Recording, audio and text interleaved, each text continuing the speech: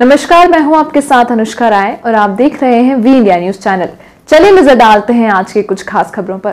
थाना परसवाड़ा अंतर्गत आने वाले ग्राम पंचायत पोंगार झोड़ी के ग्राम भमोड़ी में होली के दूसरे दिन एक पैंतीस वर्षीय महिला का शव कुएँ में उतरदाता हुआ मिला, जिससे समूचे ग्राम में सनसनी फैल गई। उल्लेखनीय है कि ग्राम पंचायत पोगार जोड़ी के ग्राम भमोड़ी के घर पर बने हुए कुएँ में महिला का शव तैरता हुआ पाया गया। ग्रामीणों का कहना है कि यह घटना होली के दिन देर शाम की है।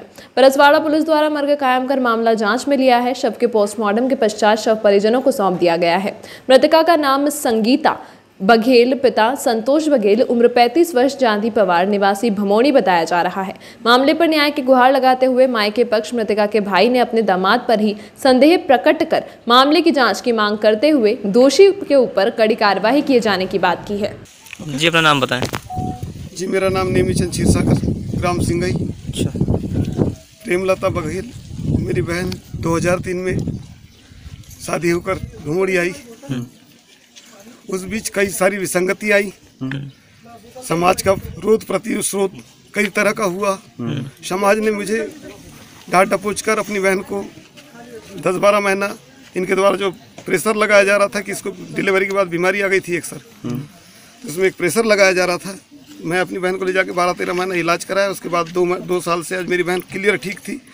चौदह तारीख को मैं शिवरात्रि के दूसरे तीसरे दिन यहाँ पे शंकर भगवान की प्रसाद ले लेकर पहुँचाने आया। तब मेरी बहन सही सलामत थी। मैंने पूछा कि भाई तेरी बीमारी क्लियर है कि नहीं? दवा भी लाते जाता था मैं हर महीने। मेरी बहन बोली कि भैया मेरे को कोई परेशानी नहीं मैं अब ठीक हो जाऊँगी। ऐसा बोली और मेरी बहन को दस तारीख को शिवरात्रि ग्यारह तारीख की थी भैया। दस तारीख को मैं आया मेरे दामाद ने बोला कि मैं जा अगर तू ले जा रहा है तो चार सियाने लेकर आना तो लाना नहीं तो मेरे अपने यहाँ से ले जा मत। मैं चुपचाप चले गया। मैं बोला भाई ये सौ का नोट पकड़। अगर भाष्य के साथ कल शिवरात्रि है कथा पूजा है आप आ जाना। मेरा नाम जितेंद्र कुमार पटले है। जनपद क्षेत्र क्रमांक पाँच से मैं जनपद सदस्य हूँ। जी। पुंगार झोड़ी पंचायत के अंतर्गत यह ग्राम जो है भिमोड़ी आता है जो हमारे राजनीतिक क्षेत्र में आता है। आज सुबह जो है मुझे सात बजे जानकारी मिली भिमोड़ी के ग्रामीण जन से कि यहाँ पे ऐसी ऐसी घटना हो चुकी है। तत्काल मुझे जैसी घटना की जानकारी मिली मुझे वैसे ही तत्काल मैं यहाँ ग्राम भेमोड़ी में पहुँचा।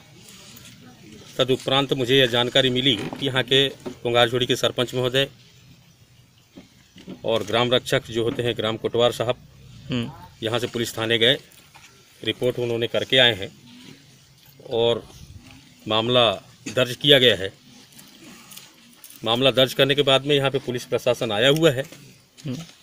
जो भी घटना हुई है यह दुखद घटना है और किसी के साथ में ऐसा नहीं होना चाहिए किंतु जो भी घटना की रिपोर्ट आएगी पोस्टमार्टम के बाद में वह उसी के बाद में तय की जाएगी। धन्यवाद। ये मैं छः बजे निकला था ये चौक की तरफ़ घूमने?